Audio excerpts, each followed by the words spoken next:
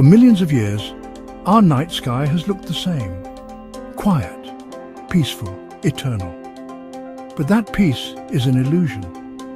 Because even now, far beyond what our eyes can see, two colossal galaxies are hurtling toward each other, pulled by a force they cannot escape. One of them is our home, the Milky Way. The other, the mighty Andromeda. These galaxies are locked in a slow-motion crash, one that won't begin for another four billion years. But when it does, it will tear the fabric of our galaxy apart and create something entirely new. This is the true story of how our galaxy will die and how its death will give birth to the next chapter of the universe. Welcome to Skyward Space Quest. This is the death of the Milky Way, our galaxy's final collision.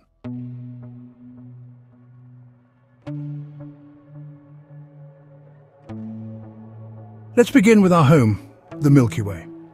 It's a barred spiral galaxy, a swirling disk of stars, gas, dust and dark matter, over 100,000 light-years wide, and home to at least 200 billion stars, maybe more. And somewhere among those stars is a tiny yellow sun, orbited by a pale blue dot, called Earth.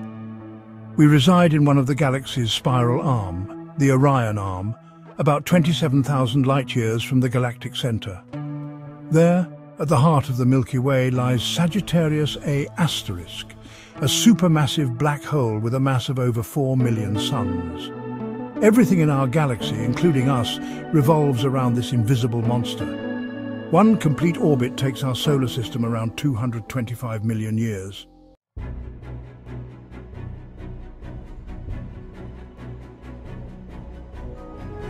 Now, meet our cosmic neighbour. The Andromeda Galaxy, also known as M31, lies two and a half million light-years away. But don't let that number fool you. On cosmic scales, Andromeda is close, very close. And more than that, it's coming for us. Andromeda is even larger than the Milky Way, with an estimated trillion stars and a central black hole many times the mass of our own. And it's moving toward us at about 110 kilometers per second, roughly 250,000 miles per hour. At that speed, you could circle Earth in under seven minutes. But space is vast. Even at this velocity, Andromeda won't reach us for billions of years. Still, the trajectory is set. Gravity has spoken, and the Milky Way's fate is sealed.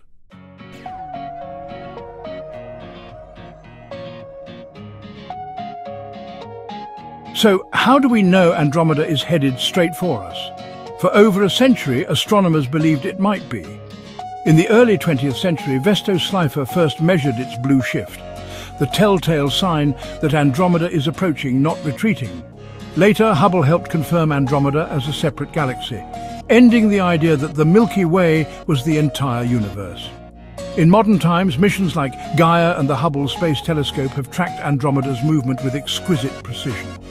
We now know not only that it's approaching, but also how fast and at what angle. The result? A direct collision course. But this won't be an explosion. Galaxies aren't solid objects. They're mostly empty space.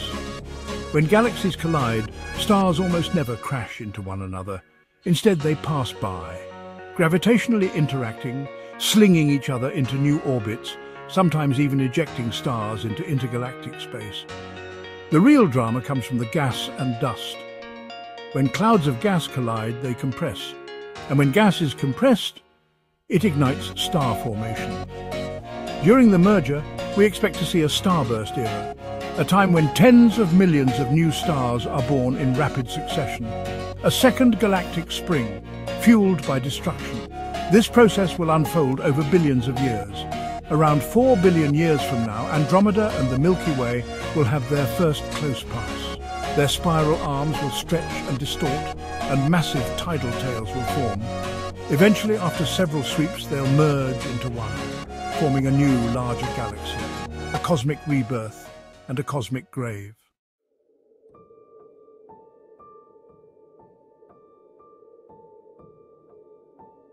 Imagine the night sky four billion years from now.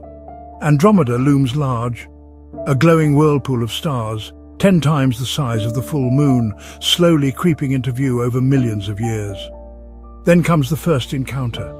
Tidal forces begin to pull on both galaxies. Stars and gas stretch outward, forming vast arcs, trails of light tens of thousands of light years long.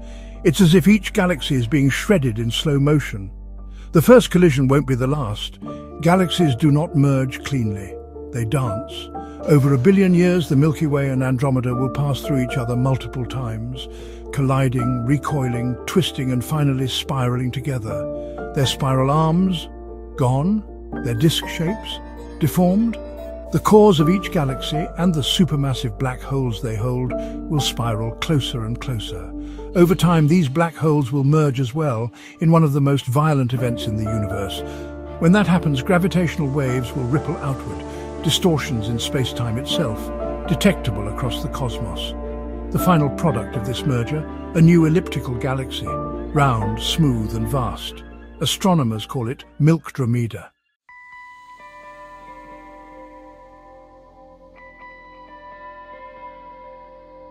What happens to Earth? If it still exists in four billion years, it will be a very different place. The Sun, now halfway through its life, will be nearing its death. By that time, it will have entered its red giant phase, swelling outward, possibly engulfing Mercury, Venus, and maybe even Earth. Even if we survive, conditions will be extreme. The oceans may have boiled away, the atmosphere could be gone. Life as we know it will have ended, unless it evolved or escaped long before. But what if humans, or their descendants, are still around, perhaps living on Mars, or among the stars? During the merger, our solar system will be pushed and pulled by galactic tides. Simulations suggest there's about a 50 to 70% chance the Sun will remain within the merged Milkdromeda. But our position will shift dramatically. We may be flung farther out into the galactic halo, or pulled inward closer to the chaotic centre, or even ejected into intergalactic space forever alone. If we remain, the night sky will transform. The stars of Andromeda will swirl above us. The sky will glow brighter with tens of thousands of new stars. Nebulae will flare, gas clouds will light up, the galaxy will shine with rebirth. It would be terrifying, but breathtaking.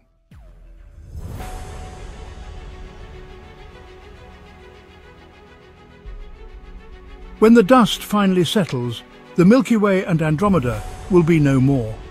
In their place, Milkdromeda, a new elliptical galaxy, smooth and golden, glowing with the light of aging stars. This type of galaxy is different. Unlike spirals, ellipticals are round and lack well-defined arms. Star formation slows. The remaining stars drift in randomized orbits. The central black hole, now a merged behemoth, may weigh tens of millions of solar masses. It will continue feeding on nearby gas, growing ever larger. Around it, billions of stars will orbit quietly. Over time, the galaxy will settle into stability. No more collisions, no more chaos.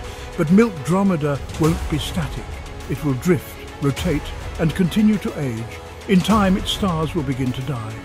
And with no new gas to form more, it will fade.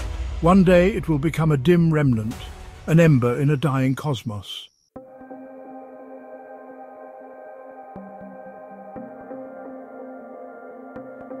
Let's fast forward. Not just billions, but trillions of years into the future. Milkdromeda still exists, but it is fading. The universe around it has grown dark. Other galaxies have moved so far away thanks to the accelerating expansion of the universe that they are now unreachable. Eventually new stars will stop forming, old stars will die, black holes will evaporate, even matter may decay. This is the path to heat death, the final state of the universe where everything is spread too thin to support structure, energy or change a cold, lifeless void. The story that began with a big bang will end in silence, unless some new physics intervenes, some unknown cycle restarts, or something beyond this universe continues, but from what we know, this is how it ends.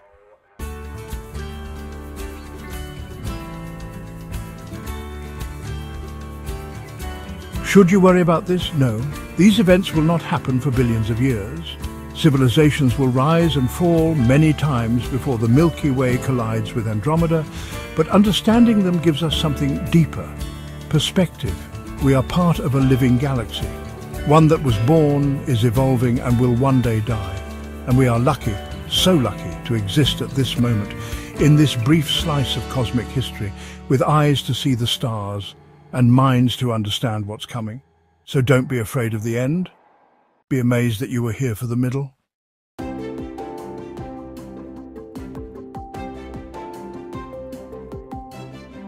Thank you for joining us on this journey through time and space. If you found yourself in awe of the cosmos today, like this video, subscribe to Skyward Space Quest and tap the bell so you don't miss what's coming next. From the birth of stars to the death of galaxies, our journey has only begun. Until next time, keep looking up.